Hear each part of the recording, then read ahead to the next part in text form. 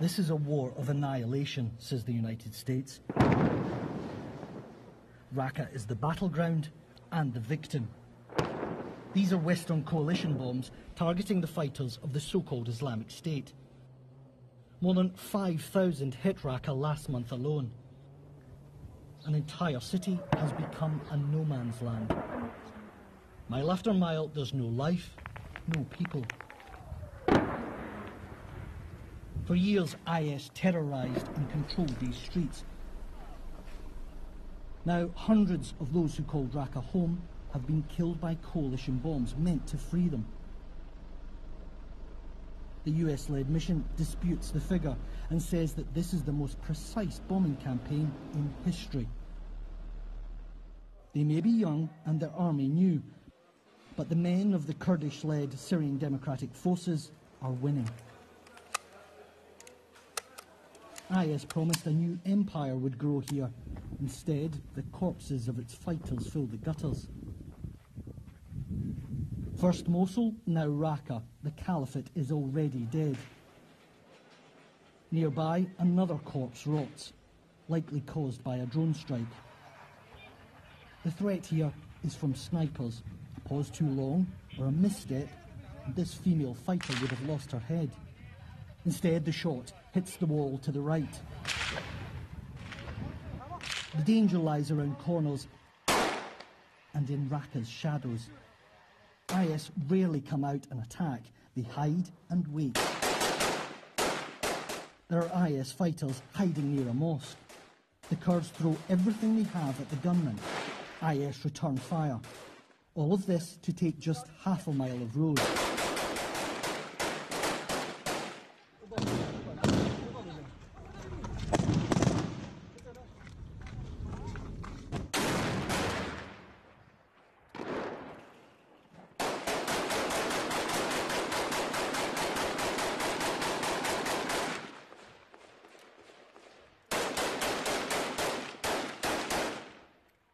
When all else fails. An airstrike on the IS position that might have done the trick. We wait for the all clear. Yeah. The instructions are simple run that way and be quick. But as I get to the end of the street, it's clear the sniper is still there. He fires at us, but misses. The shots ricochet off the wall by the camera. Oh, it hit right there. The deeper into the city, the greater the danger. It's an improvised war. Here, Arab fighters have salvaged an IS armoured car. Like a prehistoric beast, it lumbers through a ruined landscape.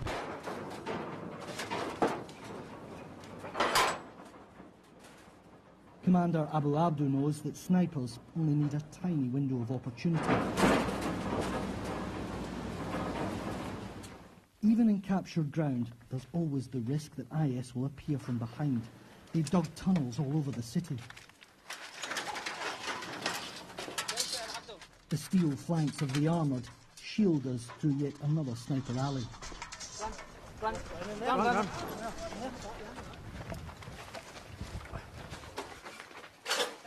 There's a sniper just around that corner, just at the end of the street. We have to be very careful here. This is the centre of Raqqa, the very heart, if you like, of the Islamic State.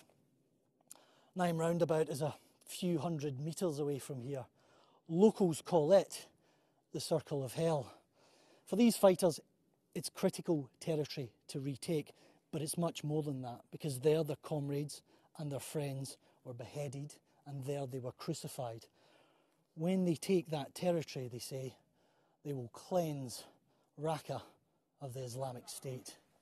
But before the cleansing, more blood has to be spilt. One of the fighters has been shot.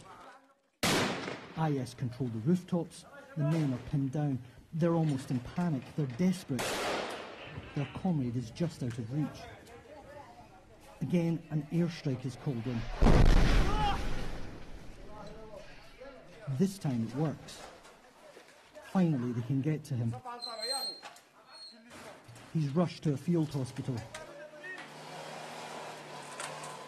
But he doesn't survive. His name was Nadine Abdul Aziz. He was 21 years old. The fighters are exhausted. They've had too many days end like this. We'll keep going. We will sacrifice our blood for our people inside because they're having a tough time, a really tough time. Yesterday, Daesh attacked us with their men dressed as women, and there were big numbers, like a hundred.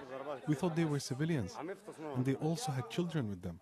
And suddenly, the civilians and children went to the side of the road, and then they started to fire at us.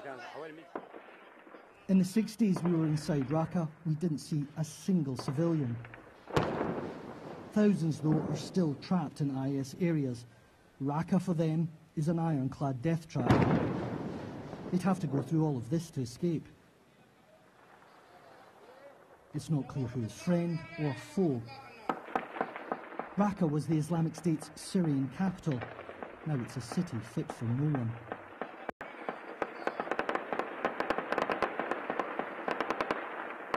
Quentin Sommerville, BBC News, Raqqa.